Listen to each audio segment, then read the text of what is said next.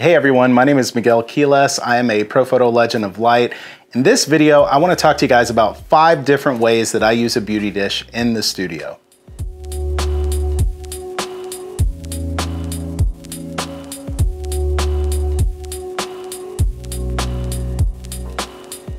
The first way that I love to use a beauty dish is in a clamshell setup without diffusion. And so let me show you guys what that looks like. We have the Profoto B1 with one of their OCF beauty dishes. It's a uh, two foot beauty dish, super nice for creating this really contrasty light to bring out skin texture when you're taking photos.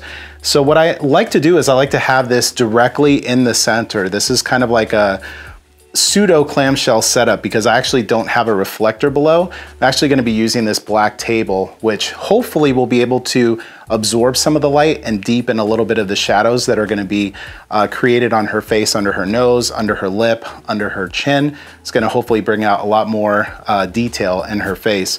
This is one of the ways that I love to use it. And so um, with that being said, let's go ahead and let's shoot that first look and see what it looks like.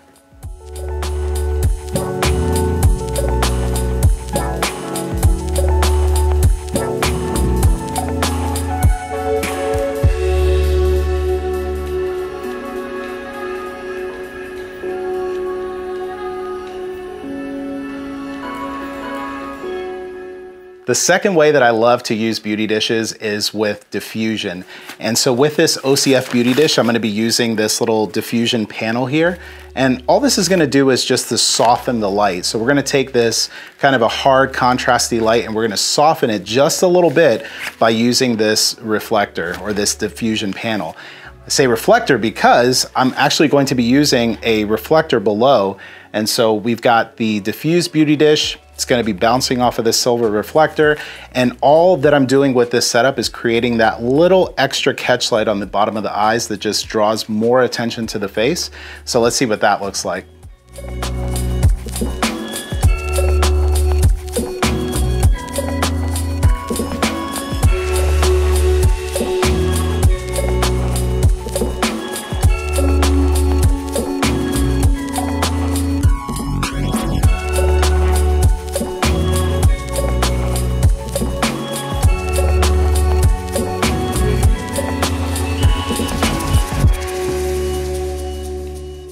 Let's talk about the third way that I like using a beauty dish, and that is as a fill light.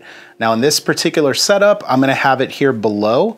This is gonna be acting somewhat like uh, uh, the reflector that we were using in that second setup, except a lot better because I could actually dial the power up or down in order to provide more or less fill depending on what my needs are for this shot.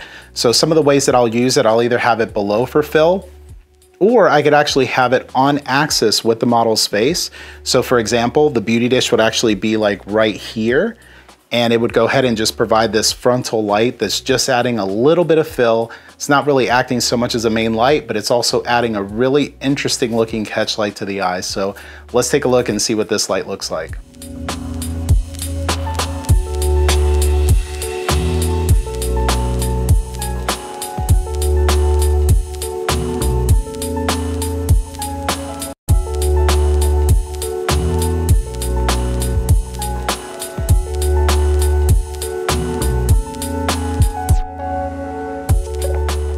Let's talk about the fourth way that I like using beauty dishes, and that's as a hair light or as a kicker light. And so what I've done for this particular setup is I've actually taken the beauty dish and I've put it behind the background. And there are times when I actually use this as a main light where I'll put a white wall or a white V-flat in front of the model. I'll have the light basically behind the model hits the white wall and that light projects back and lights them from the front, but we're not gonna do that for this particular shoot because I do have a main light that I'm using, which is a Profoto 5 foot octa. So that beauty dish is acting as a hair light or a separation light. But with that being said, actually, let's go ahead and let's just take a look at it. Let's see what it looks like.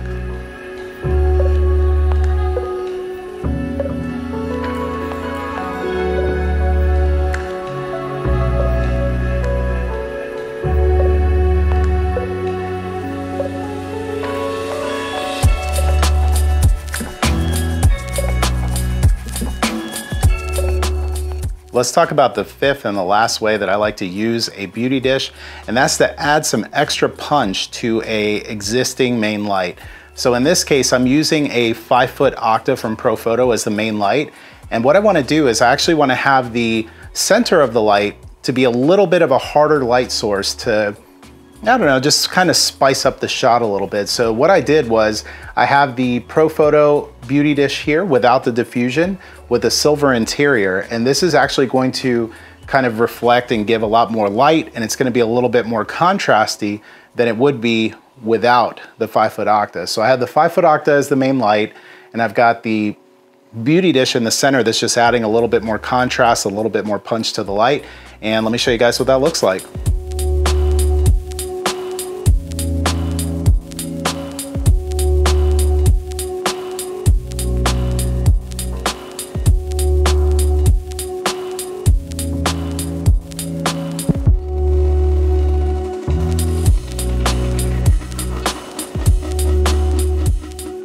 All right, so there you have it. That's five ways that I like to use a beauty dish when I'm shooting in the studio. If you guys have any questions, make sure you leave them in the comment section below. I'll be so happy to look through those and to reply back. And while you're here, make sure that you follow Krystina, who was so gracious to model for us in this video. Her links are in the description for this video. Thanks for watching. And there's gonna be future episodes that are coming out where I'm gonna be talking about how I use an Octa, how I use an umbrella, how I use soft boxes, strip banks, essentially every uh, modifier that's in the Profoto lineup. I'm gonna show you guys different ways that I like to use them in the studio. So make sure you subscribe while you're here so you'll be notified when those videos come out. Thank you so much for watching and I'll see you in the next video.